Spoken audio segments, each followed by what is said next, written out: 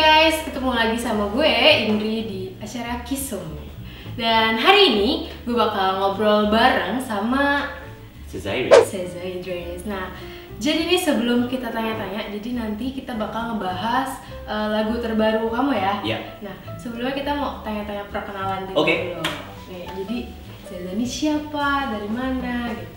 Saya seorang singer-songwriter from Singapore and um, I actually started out in the music industry really long time ago. Well, not really long, um, but I was in a sebuah peraduan that's called uh, Singapore Idol, Yeah. and I I was lucky enough to win first place. Um, but since then, I've been writing music in Bahasa and in English, and uh, recently I've just been focusing on writing on English music. Yeah.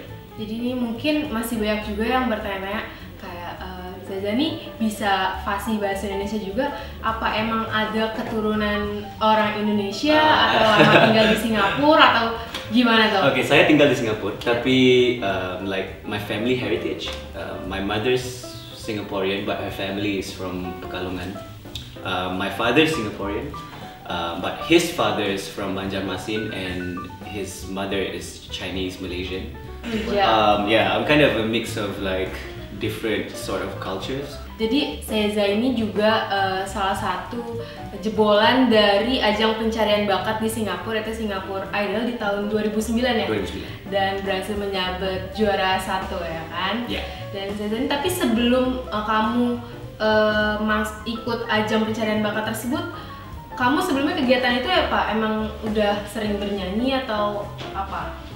Um, so before before I joined Idol, I was actually a, a music student in art school.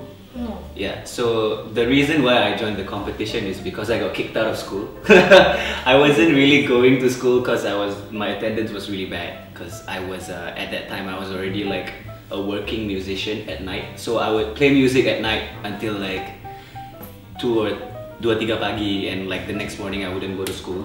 So I got kicked out of school. But the funny thing is when I got the letter that I got kicked out from school, I was walking up to my apartment and I opened the door and the TV was playing and it was it was a commercial for the Singapore Idol show. So I was looking at that like I got kicked out of school and I saw the competition on the TV and I was like, yeah, I could do that. Jadi Seza ini kan baru merilis single terbarunya di tanggal 19 Oktober kemarin ya, Ya. yang berjudul Mirage. Hmm. Nah, Mirage ini sebenarnya eh, menceritakan tentang apa gitu? Um, so the story about the song is last year I was in Sweden and I was writing my new EP. Um, and we only had like an hour left in the studio. And me and my producer, we were like just joking and we said like, hey, why don't we just write a song in one hour? and we were like, why don't we try to write a song in one hour and try to make it as simple as we can? So we, we were just laughing all the way and we were like, hey, let's write a two chord song and just try to make it as simple as we can. But after we were done, we were like, hey, Laguni actually is actually not bad. Yeah. And we realized that it could be something. And the lesson that I learned from writing that song is that I didn't have time to doubt myself. Because I think as a creative and as an artist, more often than not, you always take a long time to do something because you always think that you can't do it. Like you do something and then you're like, oh, this isn't very good. Or you do something else and then this isn't very good. But for that song, I guess I didn't really have time to second guess or doubt myself. And I think that's like kind of the most honest way that I can say what I wanted to say at the time. But the song, in the context of the song, um, is about, it's kind of about a male obsessive behavior and I think that is something that's very common among men. I think as a woman you probably know that. Like I used to be the kind of guy that would text girls non-stop and go like, oh kamu di mana? Oh mau jumpa jam berapa? And every five minutes I'll text her and like, oh what are you doing? I'll DM her and this and that and this and that, right? And like I didn't realize it at the time, but that isn't a very good like attitude to have as a as a person because when you are too obsessed with something you you, you lose perspective and you don't see whatever it is that's around you that you want that you should see. And like when your friends tell you that hey you're being kind of weird you're like no I'm not and you know what I mean? And you lose all that perspective. So the song kind of tells the story about a guy who who who is just so absolutely insane crazy about this girl that he drove her away. And that's kind of like the psychosis that I wanted to bring forward in the song is that obsessive behavior isn't always very good. It can be good if you focus it the right way, but it's not always the best thing to do.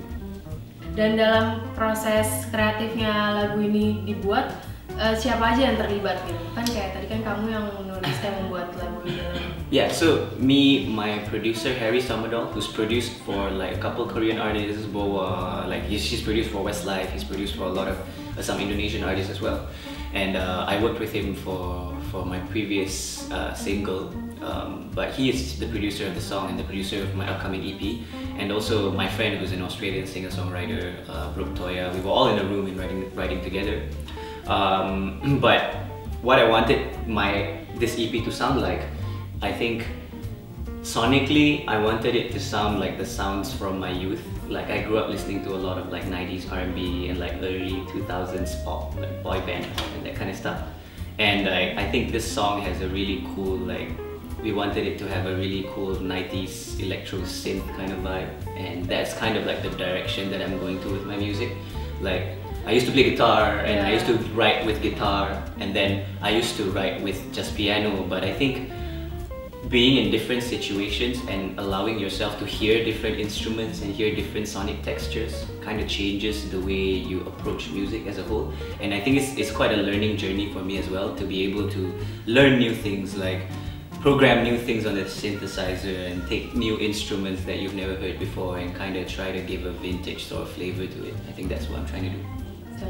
Siapa yang menginspirasi kamu dalam pembuatan lagu ini gitu? Pasti kan ada kayak sosok ya mungkin sosok spesial lah gitu atau uh, ada juga infonya katanya uh, salah satu musisi dari Indonesia itu Tulus juga salah satu oh, yeah, yeah, yang yeah. menginspirasi karya kamu juga. Yeah, um, so I was signed to a record label in like the early 2010s. Um, but when I when I was done with my contract, uh, I was an indie artist for a while, and uh, my manager at that time he was like, "Hey, you gotta listen to this guy called Tulus," and I've never heard of him at that time. So I listened to album Gajah and I was like, wow, this is Yeah. completely incredible because dia menggunakan bahasa dengan secara like so sincere, you know. And like as a Singaporean who doesn't really, uh, I'm not really exposed to music in bahasa. There's something completely fresh to me that you're able to to say say something and tell stories that are so not common, you know stories that are not common and turn them into such beautiful music. So I told my I told my manager that I really want to meet this guy, and uh, we flew to Bandung and we met uh, and until now we sort of like we developed a connection and we became friends. And I also became friends with the producer that's been producing Tulus's album Ari Renaldi, and he also helped to co-produce my EP that I released in 2016. So that was my first independent project.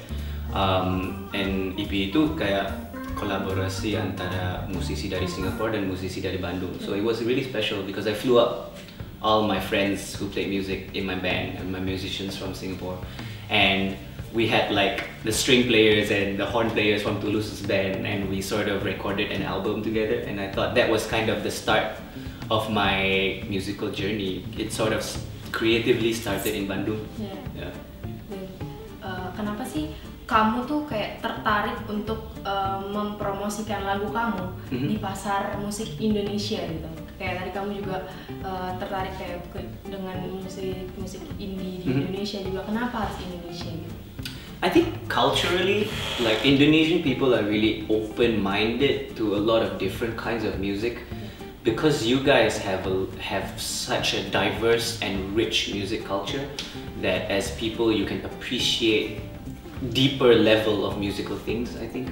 And the reason why I'm, I'm here is also because I didn't really expect I didn't really think of it like oh I want to do music in Indonesia. I didn't really think of it that way but I just wrote music. But looking at the data and looking at the response um, pendengar dari Jakarta dan Bandung 10 kali ganda lebih dari pendengar dari Singapore so it's kind of funny that um, I started my career sort of in Bandung Yeah. without even really thinking about wanting to to to promote it there.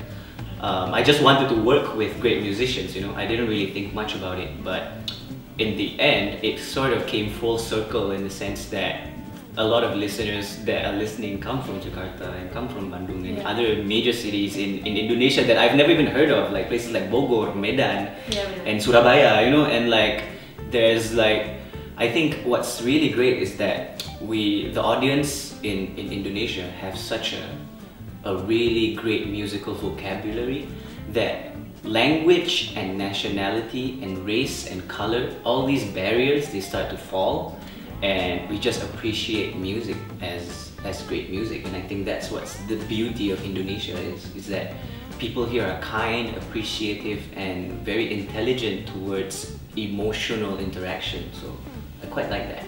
Oke kalau misalkan mau dengerin eh, lagu kamu nih bisa langsung bisa didengerin di mana aja. Yeah, so like all my music is on Apple Music, Spotify, JOOX, every every digital platform. Um, I don't do physical anymore because it's 2018. Yeah. Uh, but I really miss it though. Um, but you can also check me out on Instagram and anything that's that's gonna come. I always post it on my Instagram and Twitter at Sezairi, S A Z A E R E. Um, and uh, I, on YouTube it's Sezairi Vevo, and uh, also I have another channel just called Sezairi. You can Yeah. just like add me. I'll always try to respond to everyone in my DMs. I make it like put it in my schedule to like to like try to respond to everyone and uh, try to just return the love and appreciation. So yeah, you can just drop me a text.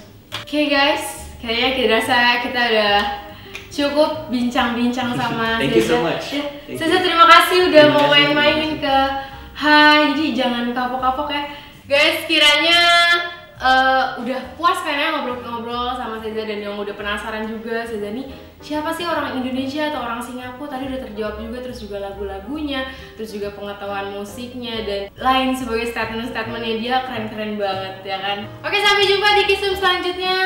Pantai terus channelnya di High Online